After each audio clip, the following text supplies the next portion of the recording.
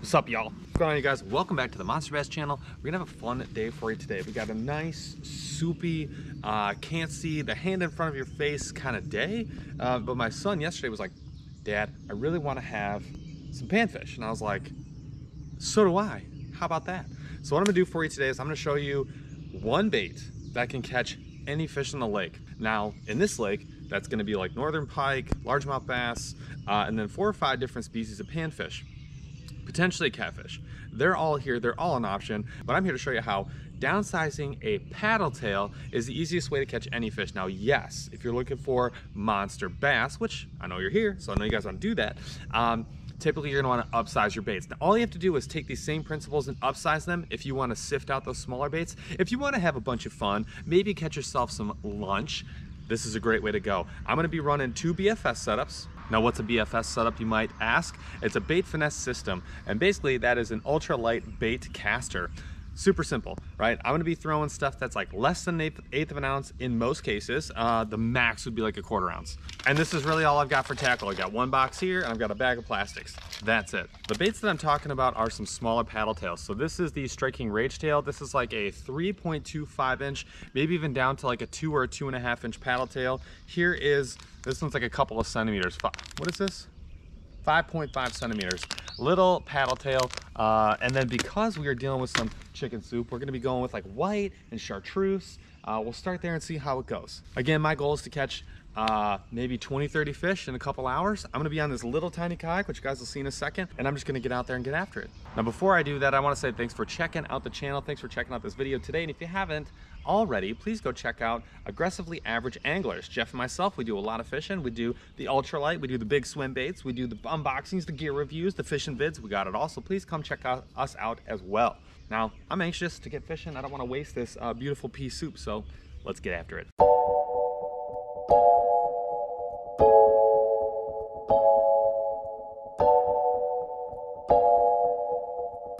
Last time you saw a launch easier than that. And the idea here is to catch a couple of panfish to start. Again, we're trying to secure the bread. We are trying to get that dinner ready to roll. So that is what we're gonna start with first. So because we're looking for panfish first, I've got this little one, I think this is a one uh, 32 ounce jig. So little baby guy in pink in a bright color. I'm probably gonna go bright. It's a little soupy. Uh, we'll start with the bright. Hey, we'll see what happens. Just gotta experiment, see what those little fishies want. Reach back here into my little bag. I'm gonna grab myself a little swim bait. Because again, that swim bait, that's the, that, it will catch everything. It will catch everything. It'll catch the biggest bass in the lake. It'll catch a giant northern pike. It'll catch a catfish. It'll catch any panfish that's out here, period, the end. Period, the end. Now it also catches the little guys. I understand that, I respect that, but I'm after those little guys right now. Here's a little swim bait I'm going to start with. This is the uh, Mule Fishing Donkey Tail Junior, 1.6 inches, little guy. Little, little guy. Again, I said we were gonna start bright. I think we'll start with the chartreuse. Now you can rig these any way you want. And this goes, the same principle applies to any paddle tail that you might be using of any size. Uh, some popular options are just gonna be the open hook like I have here. I'll show you in just a second. So this is what I'm running, this little guy right here. And this is just gonna be on an open hook, right? So it's not weedless. You can run these weedless. You can run these on an underspin. You can run these on a spinner bait. You can run these uh, on a Texas rig that's maybe pegged. You can run these weightless if they're, you know, a heavier plastic. There's like, there's unlimited options. You can run them on a drop shot, 100%. The Bubba rig, the upsized drop shot. You can run them on a shaky head. You can run them on, heck, you can run them on a Ned rig, no problem. Like the, the, the options are limitless. The whole point is these like to swim, so we like to see something move. Carolina rig can even work. Um, you just need to be able to move them somewhat. I'm already getting bit, so uh, in your face, haters. And um, as long as the thing is moving, you're good to go. It's really with this type of fishing, especially if you're looking for panfish, it's all about finding where the fish are first and then letting the rest take care of itself. So let's go find them fishies. Nice thing about pan fishing or like pressured lake fishing, like this lake gets a ton of pressure. It's just a little pond, uh, but it gets a ton of pressure. And so when you're on a really pressured piece of water, a kayak like this sometimes can be better than one of those big bulky kayaks. Um, the less presence the less noise that you can make, uh, the better off you're gonna be. Now, it's pretty warm today. We're getting into summertime, the hot summertime. So we're targeting shade. We're tar targeting those super tall weeds that provide some cover, a little bit of safety, and a little bit of cooler water. Um, we're definitely post spawns uh, for these fish. So that's where we're gonna be looking. So we're gonna check out the docks, we're gonna check out the weed lines, and uh, we're gonna see if we can't uh, catch them up. First savage of the day. Now one thing about getting some bites from some dinks, if the little fish are chasing, that means the big guys, they're gonna be after it too. So that's a good sign. There we go. That feels like a good panfish. That feels like part of my, uh, part of my, oh, it's the bass. Oh, uh, yep, let me scoop that up. Come here, my brother. Any fish in the lake? All right, upsize. Jet skis. Kind of want to check this deeper water. Now, I don't have sonar or anything like that. I got no graphs. But I got eyeballs and sunglasses, so we're not totally in up here. So I'm just looking to see where this kind of drops off just a hair. Um, maybe looking for some like tall weed piles that are kind of around this area. And then we're just gonna go throw at it. Got him. Tried, oh, little, little, oh, too, way too little, way too little. Where's your cousin, the large one? Might be little, but they're beautiful. There we go. Now we're talking fish. Oh, little pulling, little pulling. Let's go. Oh, upgraded bass. Double flip. Nice take by a little guy. Um, we'll let you go. Recover. Got. Oh yeah. Another bass. On. Ooh, ooh, Rocky, Rocky, Rocky, Rocky. All right, let's go. This is what we're after. Oh, he just horked it. He horked it. I, I love a good rock. Ah, love a good rock bass right in the tongue, my dude. Is that not cool? There's nothing wrong with keeping a rock bass. They are delicious. But that's one. You ever get that cast where you're like, it was so perfect, but where's my fish? Never happens.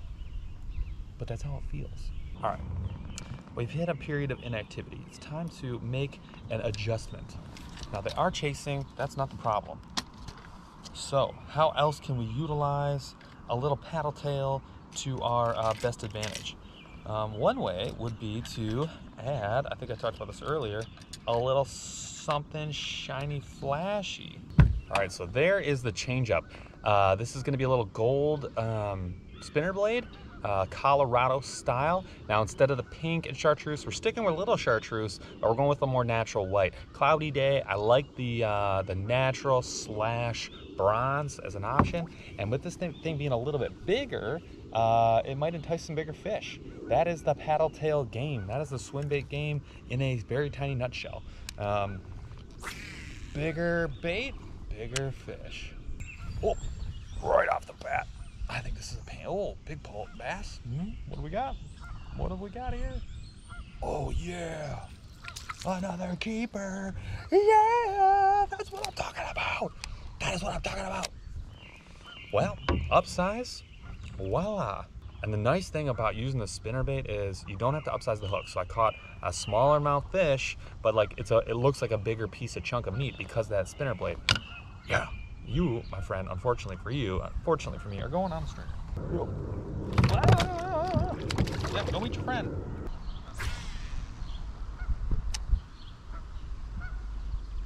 Got him. Oh yeah. I don't know. It's got to be a bass. That was sweet though. Nothing like setting on them. Oh, another Rocky, another jumbo. Yeah, dog, that's what we wanted. That's what we wanted. And a self-release. Yes, yes, yes. Slab. Hammered that. All right, Rumi. Hammered by another rock bass. I'll take them all. All day, baby. Oh, yes! Come on. Please be a rock bass. Please be a rock bass. Please be a rock bass. Oh, just a regular bass. Big jump, too. Holy smokes. Yeah. Ah! Mayhem. It's mayhem by the boat here. Oh, oh. Nothing but upgrades. Nothing but upgrades. Yes. what a shot. Absolutely hammered it. Thank you, my friend. I do eat bass occasionally. They're really good on a sandwich, but today you can be free. Another thing we should uh, say when you're preparing to go on a trip like this, you're going to keep know your catch and keep limits, know the rules, know the slot limits. Uh, make sure you have permission, uh, legitimate access, uh, updated you know fishing license that's uh, up to date. Uh, all those things are super important. Yeah, that little drag, that little drag. Oh, come on, baby. This is Penny? Feels like it. Oh, he's so strong. He's so strong. Oh, it's a big bluegill. He's a strong bluegill. Ah, dang, man. Boy's a beast. Oh, the man's a fighter. Get in here. Yes, yes, yes, yes, yes, yes, yes. Let's go. Let's go. Oh, what in the world? Yo, that. How'd you like to meet your roommates? It's the most disheartening thing. Oh, yeah. A long distance. Got him. Nope, lost him. Son of a brick. I think I lost him. Oh, no, no, I still got him. Little guy. Must be.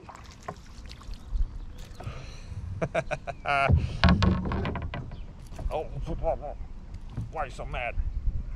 He's trying to spine me. He's like doing his absolute best. Oh, like there's a fish over there. Fish on my stringer. Got one. Oh, little bend, little drag. We horse him in. He's swirling, spinning. What do we got? What do we got? Perchy perch. Oh, perchy perch, a bigger one. Hey, well, there's one that might be another one. I don't know. I'm probably not keeping that one. It's not really worth taking them out. Uh, nice fish though. Just gorgeous little predator fish, like a baby walleye. Um, thanks for the thanks for the fun. Thanks for the fun. All right, this is probably gonna be our last stop for the day. If we need to catch one more, we don't catch one here, we'll fish our way back and we'll get these fish on ice. But we're doing all right. One more is great. Two more would be perfect probably. But I'm happy no matter what. We're just gonna fan cast at these weaves and just let Jesus take the wheel.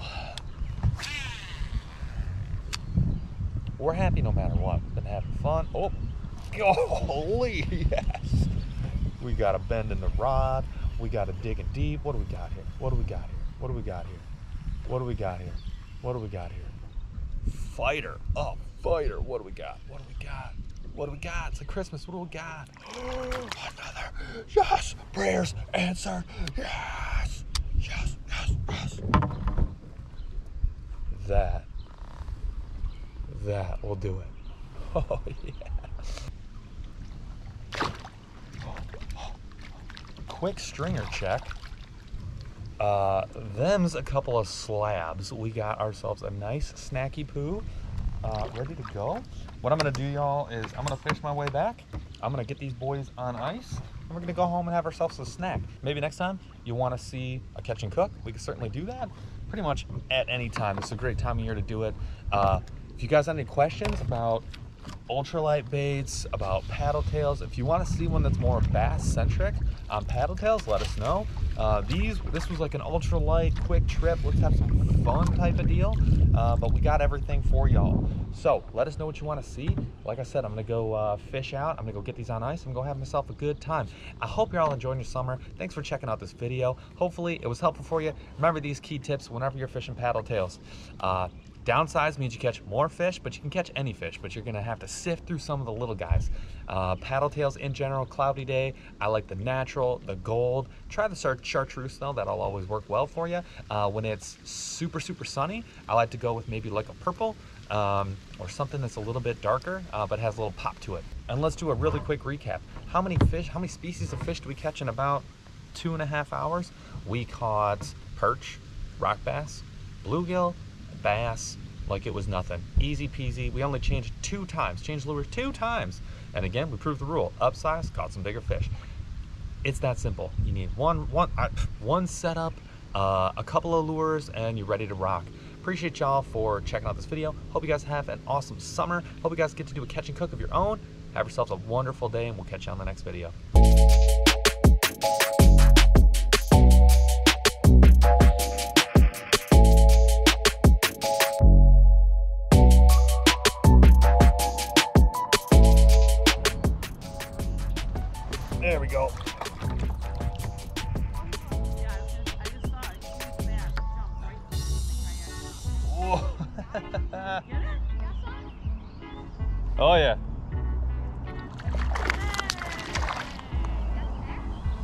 Good one.